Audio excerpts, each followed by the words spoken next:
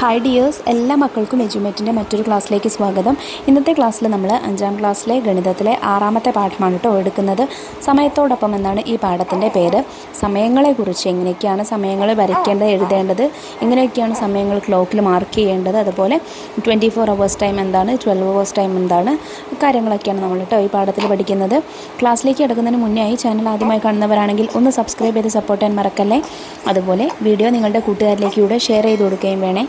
നിങ്ങൾക്ക് ആവശ്യമുള്ള അഞ്ചാം ക്ലാസ്സിലെ എല്ലാ വിഷയങ്ങളുടെയും വീഡിയോസ് എസ് ടി ഡി അഞ്ച് രണ്ടായിരത്തി ഇരുപത്തിനാല് എന്നുള്ള പ്ലേലിസ്റ്റ് എടുത്ത് നോക്കിയാൽ നിങ്ങൾക്ക് ലഭിക്കുന്നതാണ് കേട്ടോ മാത്സിന്റെ മാത്രം വീഡിയോസ് മതിയെങ്കിൽ എസ് ടി ഡി അഞ്ച് മാത്സ് എന്നുള്ള പ്ലേലിസ്റ്റിൽ നോക്കിയാൽ മതി. അപ്പോൾ ശരി നമുക്ക് നേരെ ക്ലാസ്സിലേക്ക് കിടക്കാം. പഠനയാത്ര. ഒരു ദിവസത്തെ പഠനയാത്ര കഴിഞ്ഞ് യാത്രാ സംഘം തിരിച്ചെത്തി. രാവിലെ ആറു മണിക്ക് പുറപ്പെട്ടതാണ്. തിരിച്ചെത്തിയപ്പോൾ സമയം രാത്രി ഒൻപത് മണിയായി. യാത്രക്കിടയിലെ പരിപാടികളുടെ സമയം നോക്കൂ. ആദ്യം പുറപ്പെട്ട സമയം ആറു മണിയാണല്ലേ? അപ്പോൾ ക്ലോക്കിൽ നോക്കിക്കേ ചെറിയ സൂചി ആറിലേക്ക് വലിയ സൂചി പന്ത്രണ്ടിലേക്ക്. അപ്പോൾ നമ്മൾ അതിനെ ആറ് മണി എന്ന് പറയുന്നു. ഇനി ബാക്കി സമയങ്ങൾ നോക്കുന്നതിന് മുന്നേ ആയിട്ട് നമുക്ക് എങ്ങനെയാണ് ക്ലോക്കിൽ സമയം അടയാളപ്പെടുത്തുന്നതെന്ന് ആദ്യം ഒന്ന് നോക്കാം. ക്ലോക്കിൽ നിങ്ങൾക്കറിയാം ഒന്ന് മുതൽ പന്ത്രണ്ട് വരെയുള്ള അക്കങ്ങളാണല്ലേ ഉള്ളത്. മൂന്ന് സൂചികളുണ്ടായിരിക്കും ഒരു ചെറിയ സൂചി പിന്നെ അതിലേറെ വലിയൊരു സൂചി അതിലേറെ വലിയ മറ്റൊരു സൂചി. അപ്പോൾ ഏറ്റവും ചെറിയ കട്ടിയില്ലാത്ത സൂചി നമ്മൾ സെക്കൻഡ് സൂചി എന്നാണ് പറയുന്നത്. അതായത് സെക്കൻഡ് സമയത്തെ രേഖപ്പെടുത്തുന്ന സൂചിയാണ് കേട്ടോ അത്. പിന്നെ അടുത്ത ചെറിയ സൂചിയെ നമ്മൾ എന്ത് പറയുന്നു? മിനിറ്റ് സൂചി. അതായത് മിനിറ്റ് എത്ര മിനിറ്റായി എന്നുള്ള രേഖപ്പെടുത്തുന്ന സൂചിയാണ് മിനിറ്റ് സൂചി. മൂന്നാമത്തേത് വലിയ സൂചി. അത് മണിക്കൂർ സൂചിയാണ്. ഓരോ മണിക്കൂറിന്റെ സ്ഥാനത്ത് നിൽക്കുക നിൽക്കുന്ന സൂചിയാണ് കേട്ടോ. അപ്പോൾ നമുക്ക് ആദ്യം ഒന്നും ഒരു ഈ സെക്കൻഡിന്റെ സൂചി നിങ്ങൾ നോക്കേണ്ട ആവശ്യമില്ല വല്ലാതെ. മിനിറ്റിന്റെ സൂചിയും മണിക്കൂറിന്റെ സൂചിയും വെച്ചിട്ട് നമുക്കൊന്ന് കാൽക്കുലേറ്റ് ചെയ്യാം. ആദ്യം മണിക്കൂറിന്റെ സൂചി ഒന്നിലും മിനിറ്റ് സൂചി പന്ത്രണ്ടിലും നിൽക്കുന്ന സമയത്താണ് നമ്മൾ ഒരു മണി എന്ന് പറയുന്നത്. അതുപോലെ ഈ മണിക്കൂർ സൂചി രണ്ടിലും മിനിറ്റ് സൂചി പന്ത്രണ്ടിലും ആണെങ്കിൽ നമ്മൾ രണ്ട് മണി എന്ന് പറയും. മണിക്കൂർ സൂചി മൂന്നിലും മിനിറ്റ് സൂചി പന്ത്രണ്ടിലും ആണെങ്കിൽ നമ്മൾ മൂന്ന് മണി എന്ന് പറയും. അത്തരത്തിലാണ് നമ്മൾ സമയത്തെ ആദ്യം പഠിക്കേണ്ടത് കേട്ടോ ഒരു മണി രണ്ട് മണി മൂന്ന് മണി നാല് മണി അഞ്ച് മണി ആറ് മണി അങ്ങനെ എങ്ങനെ വരുന്നത് എങ്ങനെയാണ് പറയേണ്ടത്? മിനിറ്റിന്റെ സൂചി പന്ത്രണ്ടിൽ നിൽക്കുന്ന ആ സമയത്താണ് നമ്മൾ പറയേണ്ടത് കേട്ടോ ഇനി ക്ലോക്കിലെ ഓരോ ഈ സംഖ്യകൾക്കിടയിലും തമ്മിലുള്ള ദൂരം എന്ന് പറയുന്നത് അഞ്ച് മിനിറ്റ് വീതമാണ്. അതായത് ഒന്ന് മുതൽ രണ്ട് വരെ ഉള്ളത് അഞ്ച് മിനിറ്റ് ആണ്. രണ്ട് മുതൽ പത്ത് വരെ അല്ല സോറി മൂന്ന് വരെ പത്ത് മിനിറ്റ് അഞ്ച് മിനിറ്റ് ആണ്. മൂന്ന് മുതൽ നാല് വരെ അഞ്ച് മിനിറ്റ് ആണ്. അങ്ങനെ അങ്ങനെയാണ് കേട്ടോ അതായത് രണ്ട് അക്കങ്ങൾക്കിടയിൽ അഞ്ച് ചെറിയ വരകൾ നിങ്ങൾക്ക് കാണാൻ പറ്റുന്നതാണ്. അപ്പോൾ മിനിറ്റിന്റെ സൂചി അഞ്ച് ഒന്നിലാണെങ്കിൽ നമ്മൾ അഞ്ച് എന്ന് പറയും. രണ്ടിലാണെങ്കിൽ പത്ത് എന്ന് പറയും. മൂന്നിലാണെങ്കിൽ പതിനഞ്ച് നാലിലാണെങ്കിൽ ഇരുപത് അഞ്ചിലാണെങ്കിൽ ഇരുപത്തി അഞ്ച് ആറിലാണെങ്കിൽ മുപ്പത് ഏഴിലാണെങ്കിൽ മുപ്പത്തിയഞ്ച് എട്ടിലാണെങ്കിൽ നാൽപ്പത് ഒൻപതിലാണെങ്കിൽ നാൽപ്പത്തി അഞ്ച് പത്തിലാവുമ്പോൾ അൻപത് പതിനൊന്നിലാവുമ്പോൾ അൻപത്തി അഞ്ച് പന്ത്രണ്ടിലാവുമ്പോൾ നമ്മൾ എന്ത് പറഞ്ഞു? ആ ഒരു മണി രണ്ട് മണി എന്നുള്ള രീതിയിൽ പറയും. അല്ലേ? അപ്പോൾ മണിക്കൂറിന്റെ സൂചി ഒന്നിലും മിനിറ്റിന്റെ സൂചിയും പന്ത്രണ്ടിലും ആണെങ്കിൽ നമ്മൾ ഒരു മണി എന്ന് പറയും. മണിക്കൂറിന്റെ സൂചി ഒന്നിലും മിനിറ്റ് സൂചി ഒന്നിലും ആണെങ്കിൽ എന്ത് പറയും? രണ്ടും ഒന്നിലാവുന്ന സമയത്തിൽ ഒന്ന് അഞ്ച് എന്ന് പറയും. മണിക്കൂർ സൂചി ഒന്നിലും മിനിറ്റ് സൂചി പത്ത് രണ്ടിലും ആണെങ്കിൽ നമ്മൾ ഒന്ന് പത്ത് എന്ന് പറയും. മണിക്കൂർ സൂചി ഒന്നിലും മിനിറ്റ് സൂചി മൂന്നിലുമാണെങ്കിൽ നമ്മൾ ഒന്ന് പതിനഞ്ച് എന്ന് പറയും അല്ലെങ്കിൽ ഒന്നേ കാൽ എന്ന് പറയും. അപ്പോൾ ഒന്നിനും രണ്ടിനും ഇടയിലായിരിക്കണം കേട്ടോ മണിക്കൂർ സൂചി. രണ്ട് മണിക്കൂർ സൂചി രണ്ടിൽ എത്തുന്നത് വരെ നമ്മൾ എന്താണ് ആ ഒന്നേ കാൽ പിന്നെ ഒന്നേ പതിനഞ്ച് ഒന്നേ ഇരുപത് ഒന്നേ ഇരുപത്തിയഞ്ച് ഒന്നേ മുപ്പത് ഒന്നേ മുപ്പത്തിയഞ്ച് ഒന്നേ നാൽപ്പത് ഒന്നേ നാൽപ്പത്തിയഞ്ച് ഒന്നേ അൻപത് ഒന്ന് അൻപത്തിയഞ്ച്. ഒന്ന് അൻപത്തിയഞ്ച് എന്ന് പറയുമ്പോൾ മണിക്കൂർ സൂചി ഒന്നിനും രണ്ടിനും ഇടയിലും മിനിറ്റ് സൂചി പതിനൊന്നിലും അപ്പോൾ ഒന്ന് അൻപത്തി അഞ്ച് പിന്നെ എന്ത് വരും? ആ ഈ മിനിറ്റ് സൂചി പന്ത്രണ്ടിലേക്ക് നീങ്ങും മണിക്കൂർ സൂചി നേരെ രണ്ടിലേക്ക് നീങ്ങും. അപ്പോൾ രണ്ട് മണി. അപ്പോൾ ഇങ്ങനെയാണ് നമ്മൾ സമയം പറയേണ്ടത്. ഇനി നമുക്ക് തന്നിട്ടുള്ള ഈ കണക്ക് ചെയ്ത് നോക്കാം. ആദ്യം നമ്മൾ പറഞ്ഞു പുറപ്പെട്ട സമയം ആറ് മണിയാണ് നോക്കിക്കേ. മിനിറ്റ് മണിക്കൂർ സൂചി ആറിലും മിനിറ്റ് സൂചി പന്ത്രണ്ടിലും. അപ്പോൾ ആറ് മണി എന്നാണ് വായിക്കുന്നത് കേട്ടോ ഇനി പ്രഭാത ഭക്ഷണം കഴിച്ച സമയം എട്ട് മണിയാണ്. അപ്പോൾ മണിക്കൂർ സൂചി എത്രയിലായിരിക്കും മക്കളെ? ആ എട്ടിലായിരിക്കും. മിനിറ്റ് സൂചി പന്ത്രണ്ടിലായിരിക്കും. മൃഗശാല സന്ദർശനം എട്ട് മുപ്പതിനാണ്. അപ്പോൾ മണിക്കൂർ സൂചി എട്ടിനും ഒൻപതിനും ഇടയിലും മിനിറ്റ് സൂചി മുപ്പതാകുമ്പോൾ എങ്ങനെയാണ് മക്കളെ? ഒന്നിൽ അഞ്ച് രണ്ട് പത്ത് മൂന്ന് പതിനഞ്ച് നാല് ഇരുപത് അഞ്ച് ഇരുപത്തി അഞ്ച് ആറ് മുപ്പത്. മിനിറ്റ് സൂചി ആറിലും ആയിരിക്കും. ഉച്ചഭക്ഷണം കഴിച്ചത് ഒന്ന് മുപ്പതിനാണ്. അപ്പോൾ മണിക്കൂർ സൂചി ഒന്നിനും രണ്ടിനും ഇടയിലും മിനിറ്റ് സൂചി ആറിലും ആയിരിക്കും. പിന്നെ പ്ലാനറ്റോറിയം പോയത് അവർ എത്ര മണിക്കാണ് എന്ന് ക്ലോക്കിൽ തന്നിട്ടുണ്ട്. നോക്കിക്കേ എത്ര മണിയാണ്? മണിക്കൂർ സൂചി രണ്ടിലും മിനിറ്റ് സൂചി പന്ത്രണ്ടിലുമാണ്.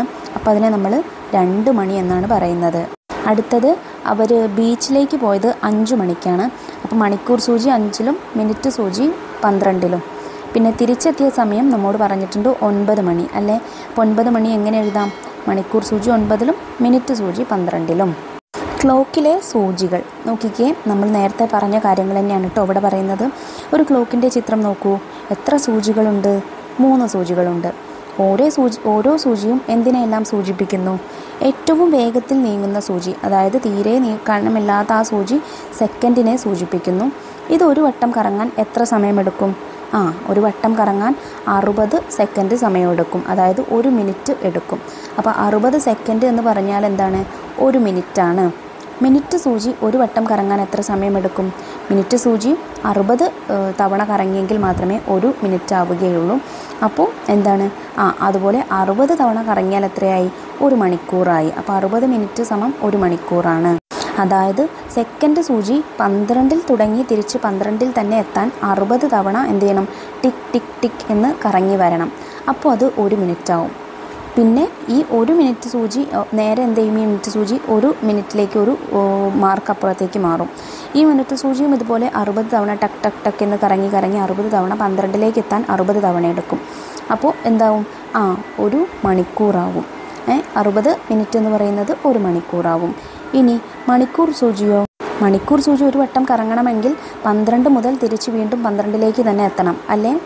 അപ്പോൾ പന്ത്രണ്ട് മണിക്കൂർ സമയമെടുക്കും ഒരു ക്ലോക്ക് മുഴുവനായിട്ട് കംപ്ലീറ്റ് ആവാൻ ക്ലോക്കിന്റെ സൂചികൾ ഒരു വട്ടം കറങ്ങാൻ എടുക്കുന്ന സമയം എന്നുള്ള ഒരു പട്ടിക നമുക്കിവിടെ തന്നിട്ടുണ്ട്. നോക്കിക്കേ സെക്കൻഡ് സൂചി ഒരു വട്ടം കറങ്ങാൻ അറുപത് സെക്കൻഡ് എടുക്കുന്നുണ്ട്. അതാണ് നമ്മൾ ഒരു മിനിറ്റ് എന്ന് പറയുന്നത്. മിനിറ്റ് സൂചി ഒരു വട്ടം കറങ്ങാൻ അറുപത് മിനിറ്റ് എടുക്കുന്നുണ്ട്. അതാണ് എന്ത്? ഒരു മണിക്കൂർ എന്ന് പറയുന്നത്. മണിക്കൂർ സൂചി ഒരു വട്ടം കറങ്ങാൻ എത്ര എടുക്കുന്നുണ്ട്? ആ ഒന്ന് മുതൽ പന്ത്രണ്ട് വരെ അതായത് പന്ത്രണ്ട് മണിക്കൂർ എടുക്കുന്നുണ്ട്.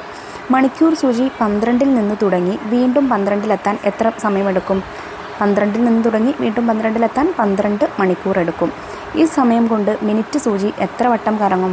നമ്മൾ പറഞ്ഞു ഒരു മിനി ഒരു മണിക്കൂർ എന്ന് പറയുന്നത് അറുപത് മിനിറ്റാണ്. അപ്പോൾ പന്ത്രണ്ട് മണിക്കൂർ എന്ന് പറയുന്നത് എത്രയായിരിക്കും മക്കളെ? അറുപത് ഗുണിക്കണം പന്ത്രണ്ട്.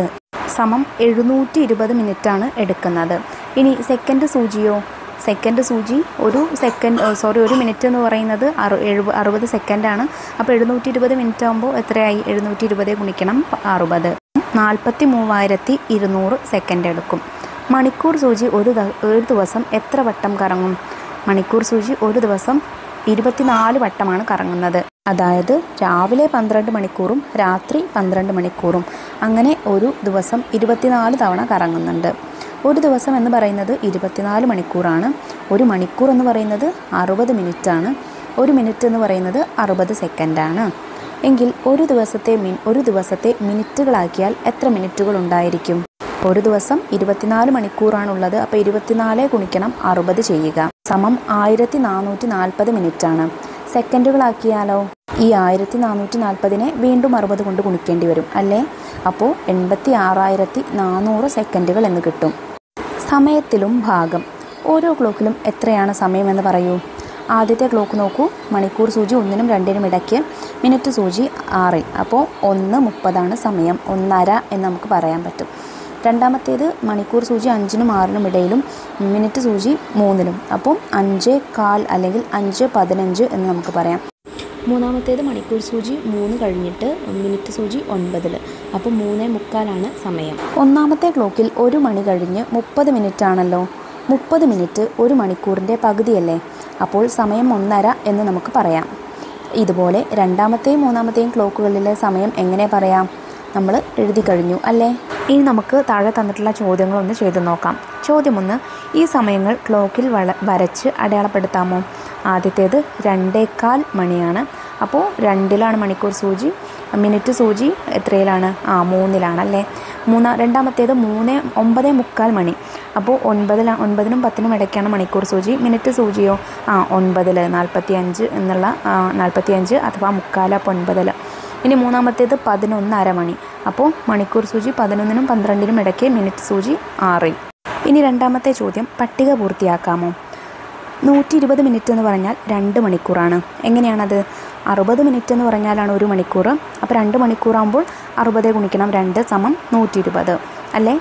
ഇനി രണ്ടാമത്തെ നോക്കൂ. നൂറ്റി അൻപത് മിനിറ്റ് എത്ര മണിക്കൂറാണ്? അറുപത് മണിക്കൂർ മിനിറ്റ് ആകുമ്പോൾ ഒരു മണിക്കൂർ നൂറ്റി ഇരുപത് മിനിറ്റ് ആകുമ്പോൾ രണ്ട് മണിക്കൂർ നൂറ്റി അൻപതാവുമ്പോൾ രണ്ടര മണിക്കൂർ ഇനി അടുത്തത് ഇരുന്നൂറ്റി പത്ത് മിനിറ്റ് ഇരുന്നൂറ്റി പത്ത് മിനിറ്റ് എത്ര മണിക്കൂറാണ്? നമുക്ക് നോക്കാം. ഇരുന്നൂറ്റി പത്തിനെ ആറ് കൊണ്ട് ഹരിച്ചാൽ മതി. അല്ലേ? ആറ് കൊണ്ടല്ല സോറി അറുപത് കൊണ്ട്. അപ്പോൾ നമുക്ക് മൂന്ന് പോയിന്റ് അഞ്ച് എന്ന് വരുന്നു. അതായത് മൂന്നര മണിക്കൂറാണ് ഇരുന്നൂറ്റി പത്ത് മിനിറ്റ് അപ്പോൾ നിങ്ങൾക്ക് വേറെ രീതിയിൽ എഴുതാം കേട്ടോ ഇങ്ങനെ എഴുതാം? ഒരു മണിക്കൂർ എന്ന് വെച്ചാൽ അറുപത് രണ്ട് മണിക്കൂറാകുമ്പോൾ നൂറ്റി ഇരുപത് അറുപത് അറുപത് കൂട്ടി കൂട്ടി പോയാൽ മതി. മൂന്ന് മണിക്കൂറാകുമ്പോൾ നൂറ്റി എൺപത് ഇനി നൂറ്റി എൺപതിലേക്ക് എത്ര കൂടെ കൂട്ടിയാലാണ് ഇരുന്നൂറ്റി പത്താവുക മുപ്പത് കൂടെ കൂട്ടിയാലാണല്ലേ അപ്പോൾ അതുകൊണ്ട് മൂന്നര മണിക്കൂർ എന്നാണ് പറയുന്നത്. ഇനി മൂന്ന് മിനിറ്റ് എന്ന് പറഞ്ഞാൽ എത്ര സെക്കൻഡാണ് ഒരു മിനിറ്റ് എന്ന് പറഞ്ഞാൽ അറുപത് സെക്കൻഡാണ് അപ്പോൾ മൂന്ന് മിനിറ്റ് എന്ന് പറയുമ്പോൾ അറുപതേ ഗുണിക്കണം മൂന്ന് സമം നൂറ്റി എൺപത് സെക്കൻഡാണ് രണ്ടാമത്തേത് കാൽ മണിക്കൂറും നാൽപ്പത്തി അഞ്ച് മിനിറ്റും എത്ര മണിക്കൂറാണ്? കാൽ മണിക്കൂറും നാൽപ്പത്തി അഞ്ച് മിനിറ്റ് എന്ന് പറയുമ്പോൾ മുക്കാൽ മണിക്കൂർ അല്ലേ? അപ്പോൾ നോക്കിക്കേ കാൽ മണിക്കൂർ പ്ലസ് മുക്കാൽ മണിക്കൂർ എന്ന് പറയുമ്പോൾ ഒരു മണിക്കൂർ ആയി. ഇനി അഞ്ച് മണിക്കൂറും അൻപത്തി ഒൻപത് മിനിറ്റും അറുപത് സെക്കൻഡും എന്ന് പറയുന്നത് എത്ര മണിക്കൂറാണ്? അഞ്ച് മണിക്കൂർ അൻപത്തി ഒൻപത് മിനിറ്റിലേക്ക് അറുപത് സെക്കൻഡ് കൂടെ ചേർക്കുമ്പോൾ എത്രയായി മക്കളെ? ആ അറുപത് സെക്കൻഡ് എന്ന് പറയുന്നത് ഒരു മിനിറ്റ് അല്ലേ? അപ്പം അൻപത്തി ഒൻപത് കൂട്ടണം ഒന്ന് സമം അറുപത് മിനിറ്റായി അറുപത് മിനിറ്റ് എന്ന് പറയുമ്പോൾ ഒരു മണിക്കൂറായില്ലേ? അപ്പോൾ അഞ്ച് മണിക്കൂർ കൂട്ടണം ഒരു മണിക്കൂർ സമം ആറ് മണിക്കൂർ ഇനി മൂന്നാമത്തെ ചോദ്യം നോക്കൂ. രാവിലെ പത്ത് മണി മുതൽ വൈകുന്നേരം നാല് മണി വരെയാണ് സ്കൂൾ പ്രവൃത്തി സമയം. രാവിലെ പതിനൊന്ന് ഇരുപത് മുതൽ പതിനൊന്ന് മുപ്പത് വരെയും ഉച്ചയ്ക്ക് ശേഷം പന്ത്രണ്ട് അൻപത് മുതൽ ഒന്ന് നാൽപ്പത്തി അഞ്ച് വരെയും വൈകുന്നേരം മൂന്ന് പത്ത് മുതൽ മൂന്ന് ഇരുപത് വരെയും ഇടവേളയാണ്. എങ്കിൽ ആകെ പഠന സമയം എത്രയാണ്? നമുക്കിത് സാവധാനം മനസ്സിരുത്തി ചെയ്തു നോക്കേണ്ട ഒരു കണക്കാണ് കേട്ടോ. ആദ്യം നോക്കാം സ്കൂൾ പ്രവൃത്തി സമയം എന്ന് പറയുന്നത് എത്ര മുതൽ എത്ര വരെയാണ്? സമം പത്ത് മുതൽ നാല് വരെയാണ്. പത്ത് മണി മുതൽ നാല് മണി വരെയാണ്.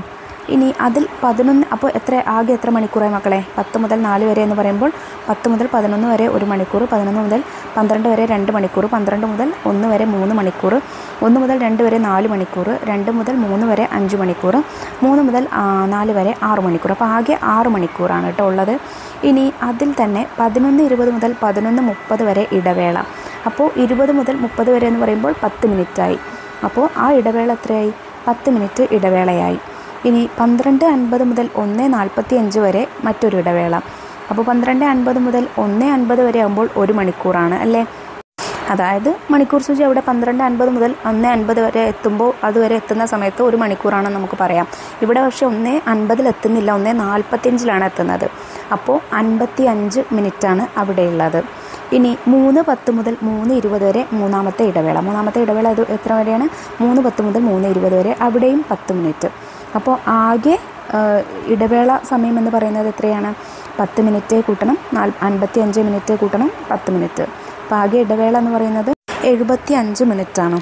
എഴുപത്തി അഞ്ച് മിനിറ്റ് നമുക്ക് എങ്ങനെ എഴുതാം?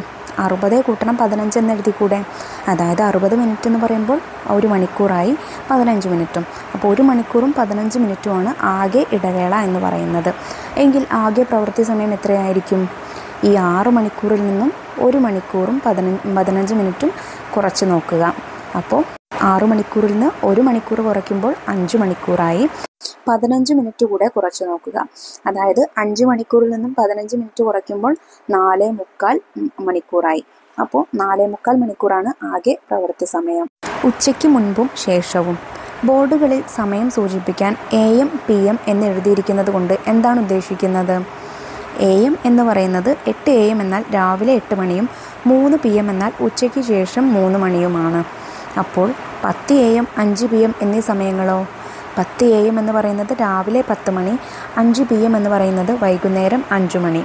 അർദ്ധരാത്രി പന്ത്രണ്ട് മണി മുതൽ ഉച്ചയ്ക്ക് പന്ത്രണ്ട് മണി വരെയുള്ള സമയത്തെ എ എം എന്നും ഉച്ചയ്ക്ക് പന്ത്രണ്ട് മണി മുതൽ അർദ്ധരാത്രി പന്ത്രണ്ട് മണി വരെയുള്ള സമയത്തെ പി എം എന്നും പറയുന്നു.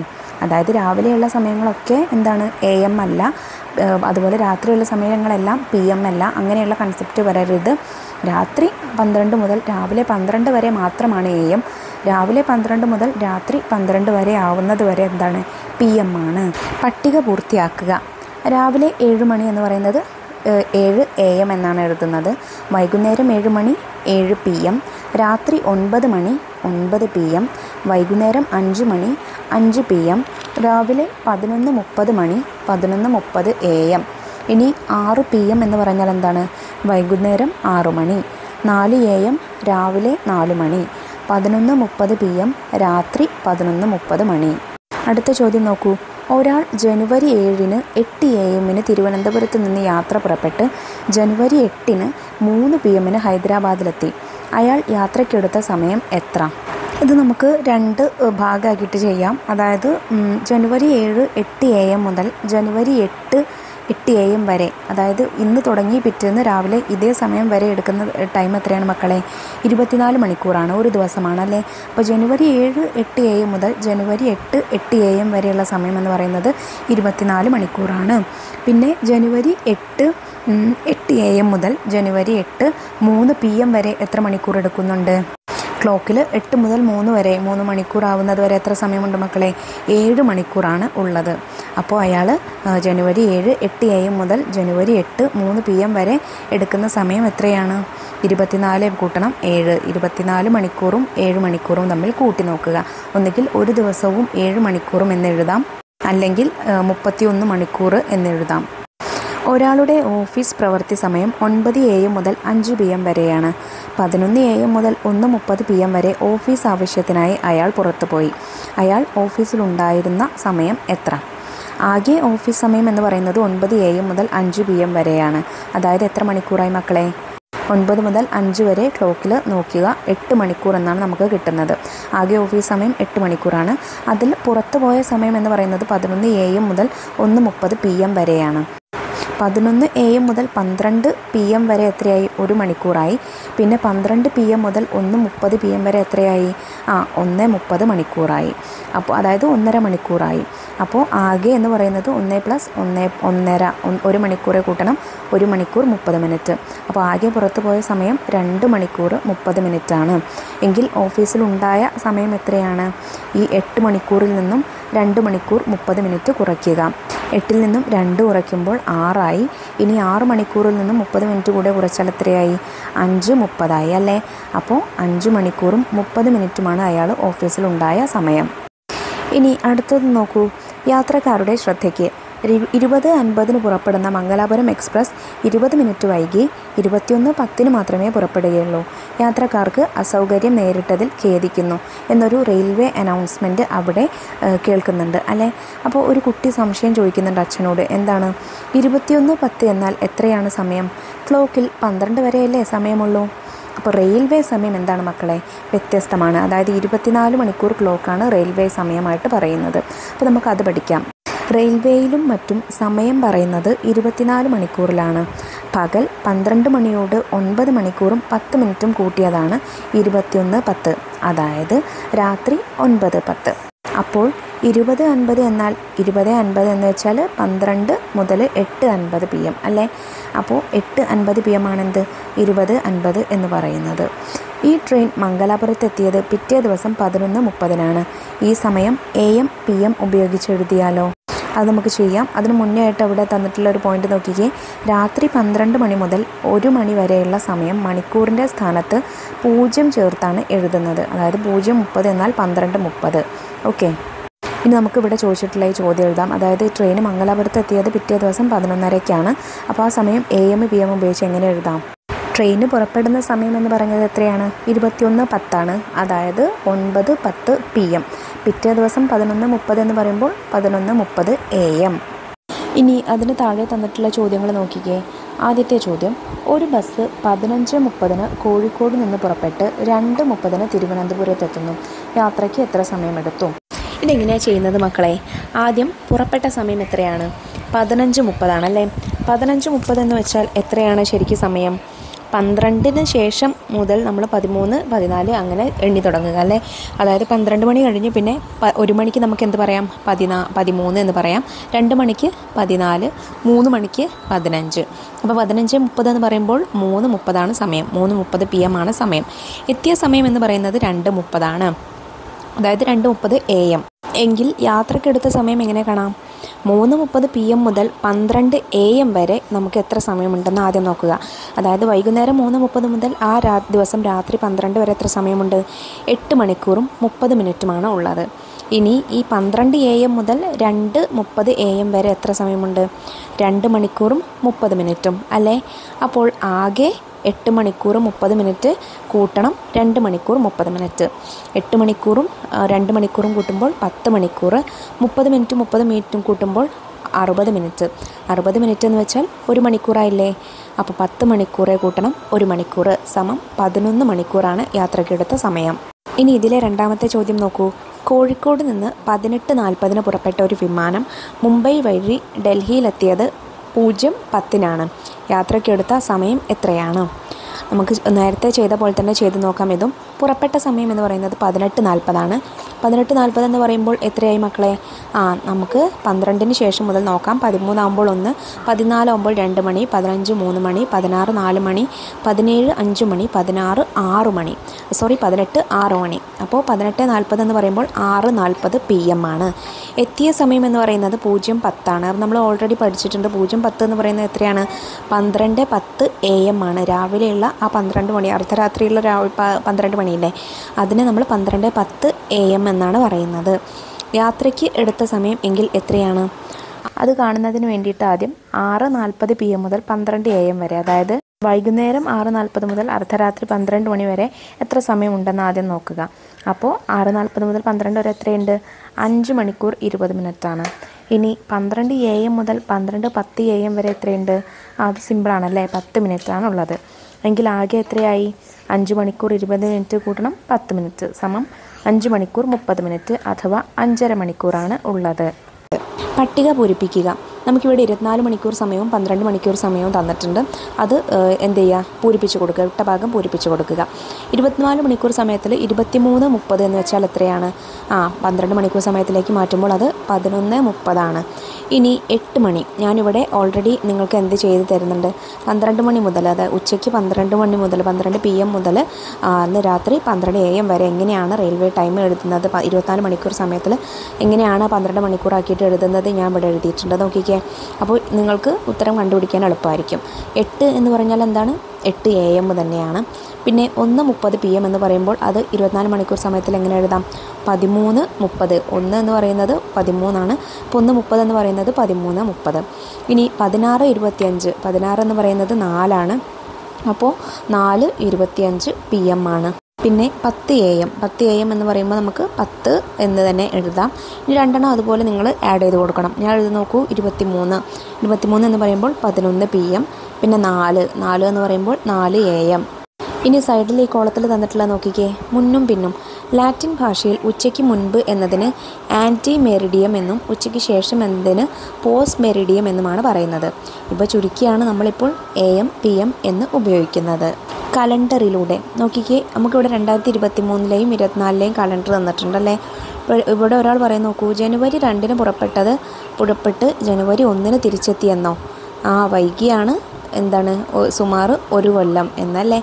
അപ്പോൾ ഒരാൾ രണ്ടായിരത്തി ഇരുപത്തി മൂന്ന് ജനുവരി രണ്ടിന് പുറപ്പെട്ട് രണ്ടായിരത്തി ഇരുപത്തി നാല് ജനുവരി ഒന്നിന് തിരിച്ചെത്തി എന്നാണ് കേട്ടോ ഉദ്ദേശിക്കുന്നത്. രണ്ടായിരത്തി ഇരുപത്തി മൂന്ന് തുടങ്ങുന്നതും അവസാനിക്കുന്നതും ഒരേ ദിവസമാണെന്ന് നമുക്ക് ഈ കലണ്ടറിൽ നിന്ന് മനസ്സിലാക്കും.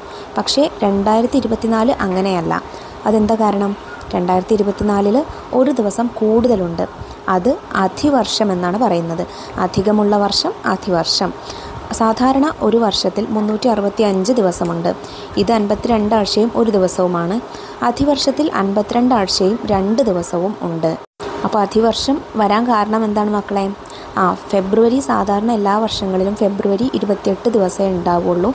അതിവർഷം അതായത് നാല് വർഷങ്ങൾ തമ്മിൽ നാല് വർഷം കൂടുന്ന സമയത്ത് നാലാമത്തെ വർഷം ഫെബ്രുവരിയിൽ ഇരുപത്തി ഒൻപത് ആവും.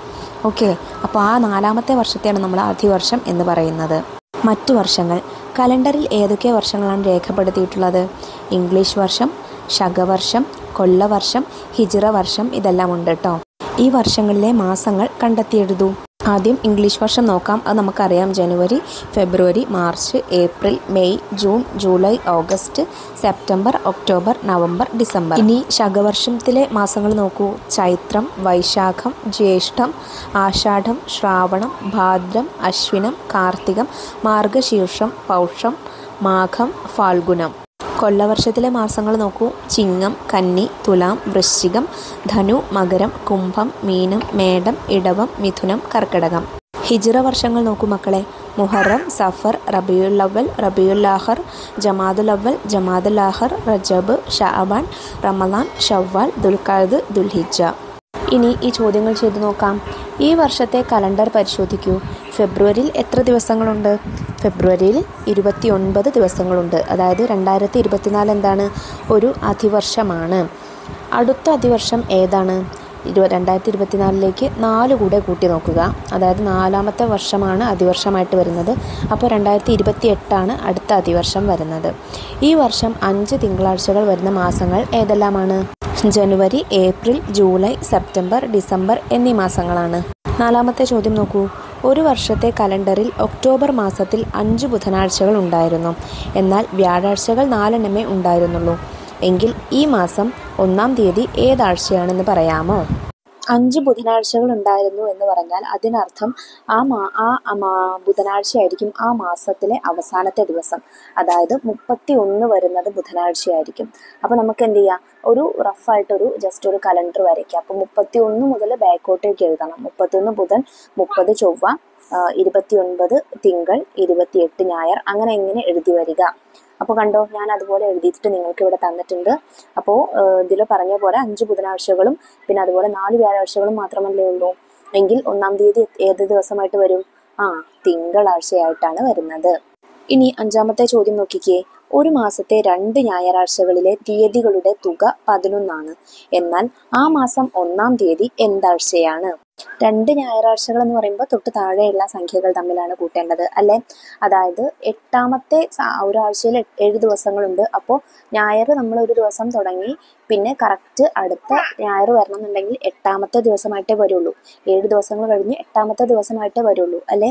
അപ്പോൾ അങ്ങനെ വരുന്ന സംഖ്യകളിൽ ആകെ വരുന്നത് രണ്ട് ഒമ്പതാണ് രണ്ടിലേക്ക് എട്ട് കൂട്ടുമ്പോഴാണ് അത് സോറി രണ്ടിലേക്ക് ഏഴ് കൂട്ടുമ്പോഴാണ് അത് എന്താവുന്നത് ഒൻപതാവുന്നത്.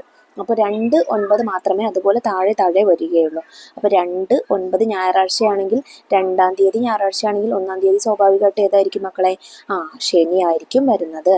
ഇനി ഇതിലെ അവസാനത്തെ ചോദ്യം നോക്കൂ. ഈ വർഷം ആഴ്ചയിലെ ഓരോ ദിവസവും എത്ര എണ്ണം വീതം വരുമെന്ന് പറയാമോ? ഏത് ദിവസമാണ് ഏറ്റവും കൂടുതൽ? കുറച്ചൊരു കുറച്ചധികം ചെയ്യേണ്ട വർക്കാണ്. കാരണം നിങ്ങൾ കലണ്ടർ നോക്കിയിട്ട് വേണം ഇത് ചെയ്യാൻ അപ്പോൾ കലണ്ടറിൽ ആദ്യം എന്ത് ചെയ്യുക ജനുവരിയിൽ എത്ര ഞായറാഴ്ചകൾ ഉണ്ടെന്ന് നോക്കുക. പിന്നെ ഫെബ്രുവരിയിൽ എത്ര ഉണ്ടെന്ന് നോക്കുക. മാർച്ചിൽ എത്ര ഉണ്ടെന്ന് നോക്കുക. ഏപ്രിലിൽ എത്ര ഞായറുണ്ടെന്ന് നോക്കുക. മെയ്യിൽ എത്ര ഉണ്ടെന്ന് നോക്കുക. അങ്ങനെ ഡിസംബർ വരെ എത്ര ഞായറാഴ്ചകൾ ഓരോ മാസം ഉണ്ടെന്ന് നോക്കുക. എന്നിട്ടെല്ലാം കൂടെ കൂട്ടുക. അപ്പോൾ നമുക്ക് അതുപോലെ തന്നെ തിങ്കളും എത്രയുണ്ടെന്ന് നോക്കുക. ജനുവരിയിൽ എത്ര തിങ്കൾ ഫെബ്രുവരിയിൽ എത്ര തിങ്കൾ മാർച്ചിൽ എത്ര തിങ്കൾ അങ്ങനെ എല്ലാതും കൂടെ കൂട്ടി നോക്കുക.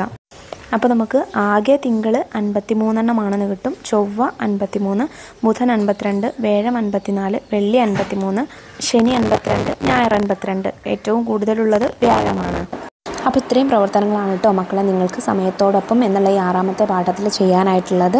ചെയ്തിട്ടുള്ള പ്രവർത്തനങ്ങളൊക്കെ മക്കൾക്ക് എല്ലാവർക്കും മനസ്സിലായിട്ടുണ്ടെന്ന് വിശ്വസിക്കുന്നു. ഇതിലെ വർക്കൊക്കെ എന്താണ് കുറച്ചുകൂടെ മനസ്സിരുത്തി ചിന്തിച്ച് ചെയ്യേണ്ട പ്രവർത്തനങ്ങളാണ് കേട്ടോ. അപ്പോൾ വീഡിയോ മനസ്സിലായിട്ടില്ലെങ്കിൽ ഒന്നുകൂടെ റിപ്പീറ്റ് ചെയ്ത് കാണുക ആ ക്വസ്റ്റ്യൻസ് ഒക്കെ ഒന്നുകൂടെ റിപ്പീറ്റ് ചെയ്ത് കാണുക അപ്പോൾ നിങ്ങൾക്ക് ക്ലിയർ ആവും കേട്ടോ. അഞ്ചാം ക്ലാസ്സിലെ മറ്റു വിഷയങ്ങളുടെ വീഡിയോസ് നമ്മൾ വൈകാതെ അപ്ലോഡ് ചെയ്യാം. ആ വീഡിയോസ് കിട്ടുന്നതിന് വേണ്ടി ചാനൽ ഒന്ന് സബ്സ്ക്രൈബ് ചെയ്ത് തൊട്ടടുത്ത് കാണുന്ന ബെല്ലൈക്കണിൽ ഓൾ ബട്ടൺ പ്രസ് മറക്കരുത്. അപ്പോൾ ശരി നമുക്ക് അടുത്ത ക്ലാസ്സുമായി വീണ്ടും കാണാം. Thank you.